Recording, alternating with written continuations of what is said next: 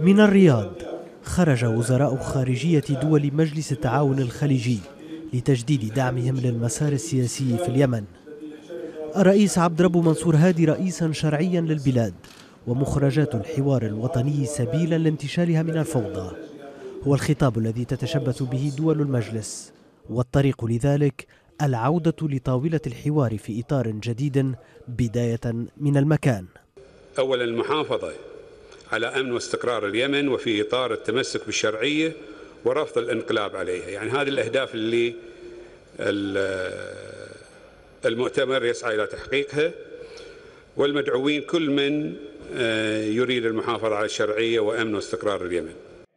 من الجزائر حيث يجتمع وزراء الداخلية العرب خرجت الرسالة ذاتها.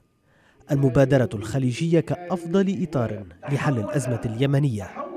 بيد أن التطورات الميدانية لا تشير إلى انفراجة قريبة.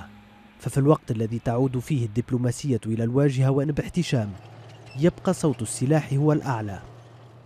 توجه الحوثيون إلى شمالي صعد على الحدود السعودية لتدريبات قالوا أنهم استخدموا فيها جميع أنواع الأسلحة المتوفرة ثقيلها وخفيفها.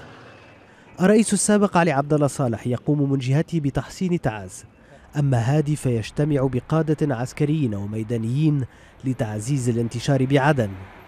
استعراض قوة بينما يواصل آلاف اليمنيين التظاهر في مدن عدة احتجاجا على سيطرة الحوثيين. تصطدم الدبلوماسية إذن بميدان متحرك ملغوم. نيات حسنة للتجاوز وأخرى لمزيد التوسع والمضي في سياسة الأمر الواقع. وكلما تأخر الحل استفحلت الأزمة.